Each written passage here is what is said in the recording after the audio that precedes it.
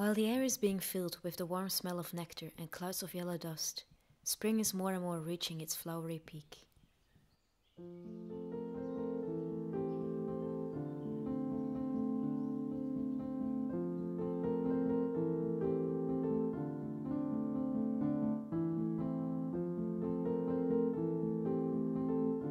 When I was asked to make the window painting for Easter from the last video, they also asked me to make a painting for spring. Also for this painting, I made some sketches in preparation.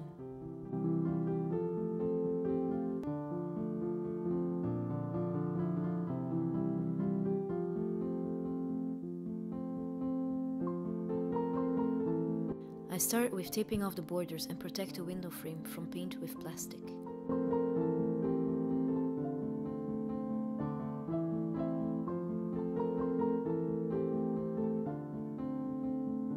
Then I applied a base layer of white acrylic paint.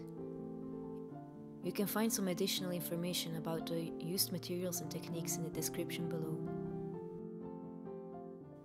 On the base layer I first applied some very basic reference lines to indicate where the center of the window was and how high I wanted certain parts of the drawing to reach. From there I started sketching.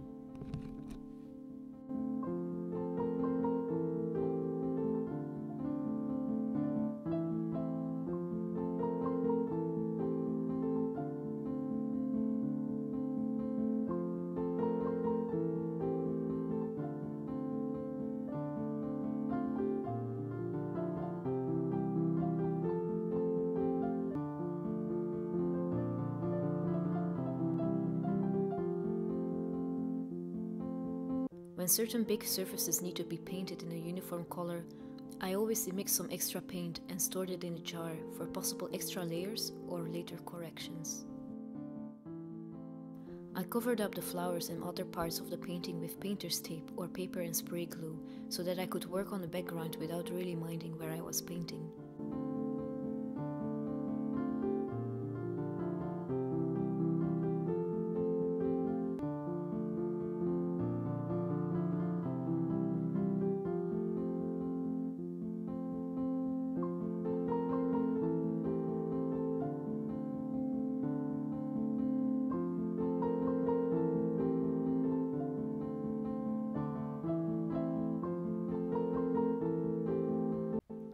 Wanted the paint to dry faster, I used a heat gun. I was not so happy with the color that I created, so I tried to change it with another layer.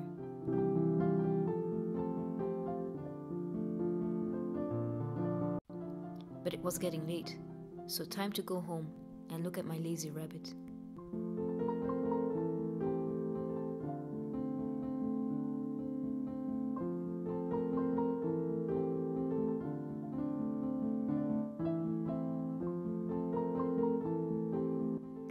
Going back to the sketch helps finding what you don't like about what you've painted so far.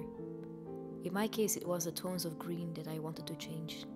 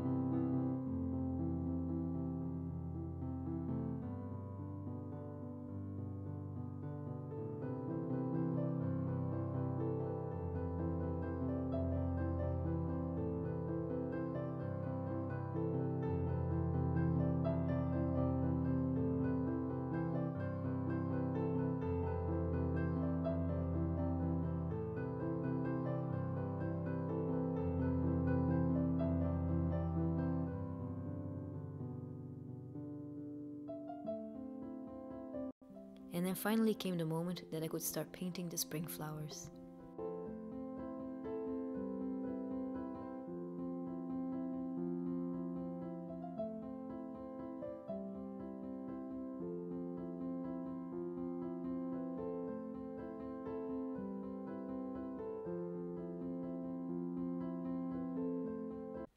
I start with a layer of base color and then build up the shadows followed by light colors.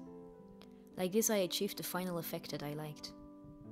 With the tulips I did something similar, but sometimes on a different order, depending on which color I already mixed on my palette for the narcissus.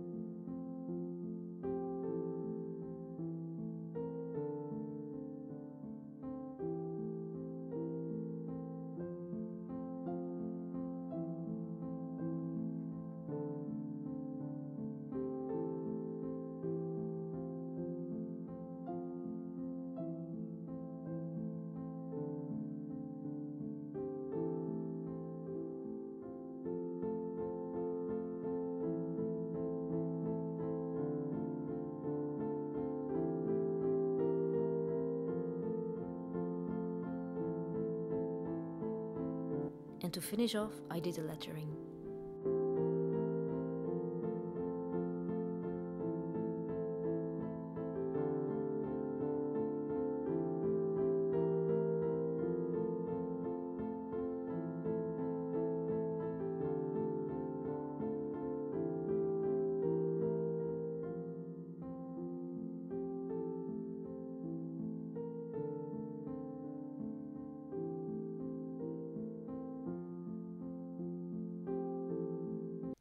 Taking off the painter's tape was less satisfying than it should have been. Because of the heat of the sun, the painter's tape got stuck to the plastic of the window frame. Since I still had some nice light for filming, I removed what I could remove by hand. Later, after I filmed the final shots, I came in with a piece of cloth and sticker remover to remove the remaining parts of the painter's tape and glue residue. And here you have the final result. I definitely learned that painting humans that are almost bigger than me in surface can be pretty tricky when I don't have a projector to help me with the proportions. I really had fun doing these projects though.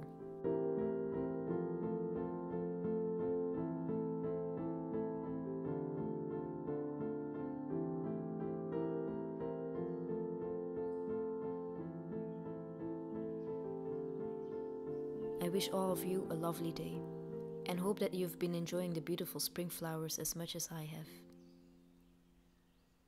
Thank you for watching, and I see you again next time.